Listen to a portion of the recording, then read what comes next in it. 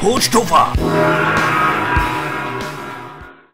What's going on everybody, Coach Topher here, and I cannot believe I'm making this video. I must have sat down four or five times over the last six months to make this thing, and I just could not get through it. One of the main reasons that I'm making this video is because I have someone in my life who pushed me to do this, that made me promise to do it. And I'm the kind of person that always keeps my promises, and it was something that I needed to do for my father, myself, for my friends and family, and for you, my loyal subscribers. I haven't posted much in the last year and a half, and I just want to thank you guys for sticking around. There's still 90,000 of you guys.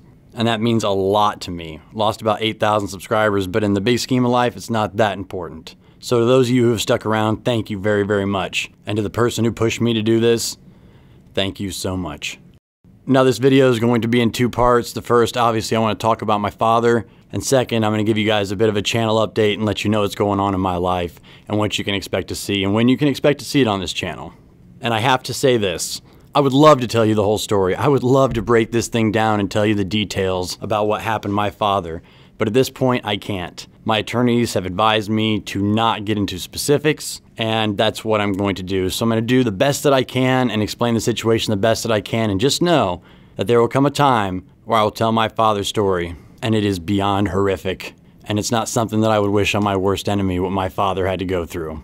So with that being said, I've come to the hardest part of this video. Today is six months since my father passed away. November 23rd, 2016, the day before Thanksgiving.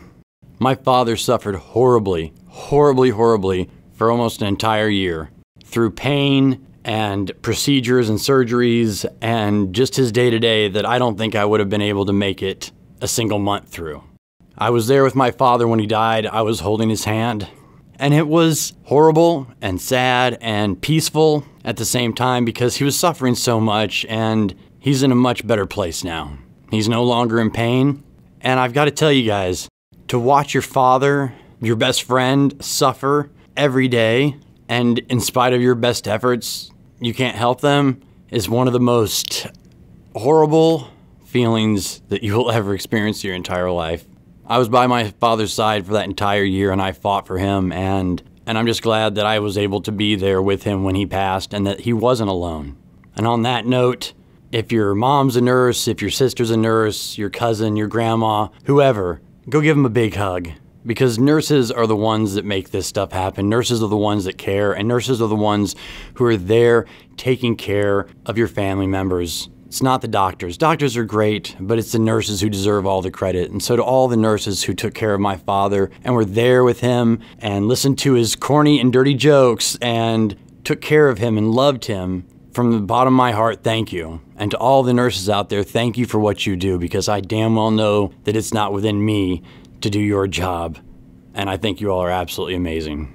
Now, while I can't talk about specifics about what happened to my father just yet, I want to tell you that that man raised me right. It was yes, sir, no, sir, please, thank you. He was funny, he was cool, he was kind, he had the biggest heart. He would give you the shirt off of his back.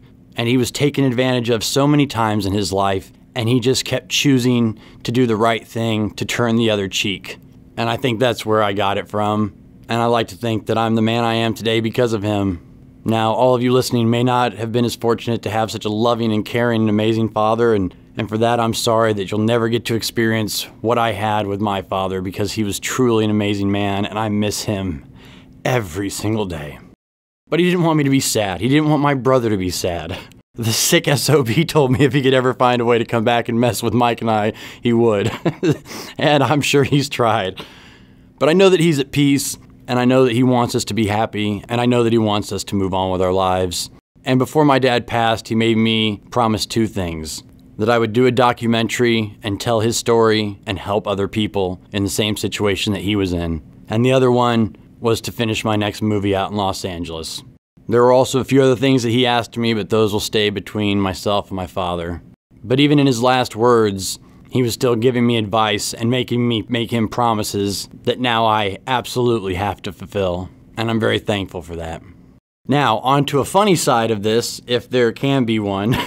My dad loved TV and movies. He loved comedy. That's how I became a film producer. That's how I got involved in the entertainment industry was from the early love that my father gave my brother and I for this stuff. We shared so many one liners from movies and TV shows, and one of my dad's favorite movies of all time was Talladega Nights, starring Will Ferrell. He would constantly, constantly quote that. Before my dad passed away, we talked about urns and what he would want, and he just said, Damn it, Chris, make it something with golf and make it funny. I want you to laugh every time you read it. And that right there is my father in a nutshell.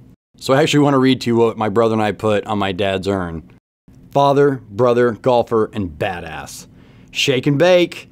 If you ain't first, you're last. Ricky Bobby. Now, I think that is absolutely hysterical, and I laugh and smile every time I read it. Now, I've actually had a couple of people get offended by what was on my dad's urn. And to those people, I say this go fuck yourself. It's what my dad wanted, and when I look at that urn, I don't get as sad because I just read that and remember who the man was. And life comes down to this live it the way you want it. Be who you want to be. Always try and be a good person, and always try and be a better person than you were the day before. And before my dad passed away, he also told me this At the end of the day, son, it's all about love. Nothing else matters.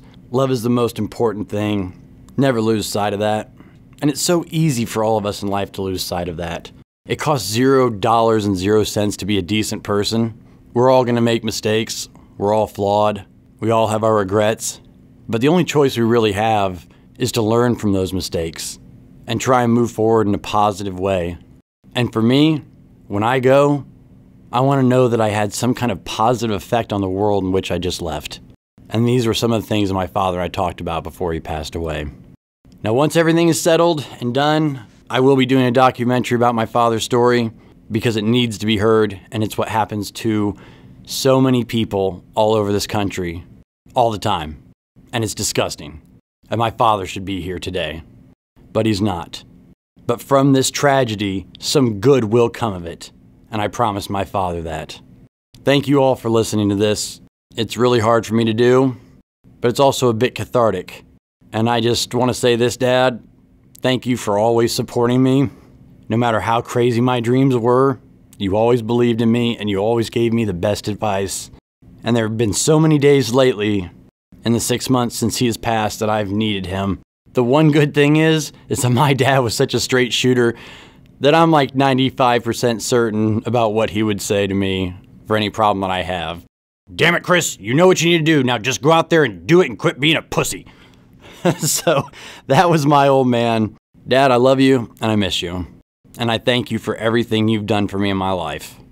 Now for a channel update. For the 90,000 of you that have stuck around. I was so close to 100,000 subscribers when all this stuff happened.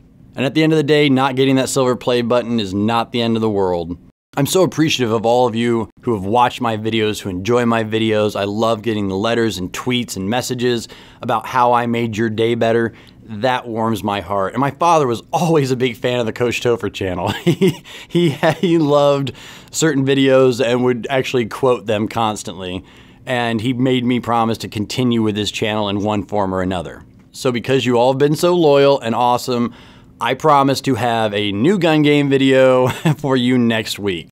And look everyone, I have probably 120 videos just sitting on a hard drive, but I've just been so busy, and to be quite honest, the year of hell that I went through with my dad, I didn't feel like making videos. I didn't feel funny. I didn't want to sit down at my computer, and I've been editing for over a decade, so I was a little burnt out on it. And the last six months after my dad passed, with it being the day before Thanksgiving and Christmas, I've been through 10 kinds of hell after he's passed for 100 different reasons. It has not been easy. But at the end of the day, I'm still here. I'm still gonna have fun with this channel. I'm still gonna put out video game videos. But right now, I need to focus on my next film. I'm getting ready to fly out to Los Angeles here in the next couple of months. I can't say too much about this other than the fact that I'm really excited, and this could be the big break that I worked so hard for for so many years. And my director friends out in LA, we're working hard, and we've got a good game plan. Like I said, I'll still put out video game videos, but what you might see quite a bit of are some vlogs, especially if this movie gets fully funded. I can walk you guys through the whole process of how a movie gets made from start to finish, and that might be something I'm gonna do. I'm not 100% sure where the channel's gonna go, but I know that I care and love all of you guys for sticking with me, and I'd like to continue the journey. I just don't know what capacity it's gonna be in yet.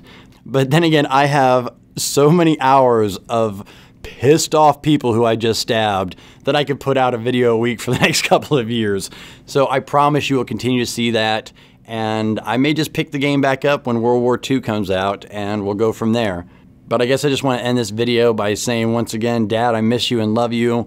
And to all of my subscribers and viewers and the people who have supported me in my life, my friends and my family, thank you. From the bottom of my heart, thank you.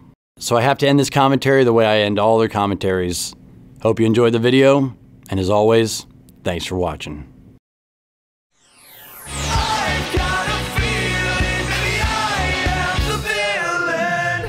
Cracking skulls, bitch!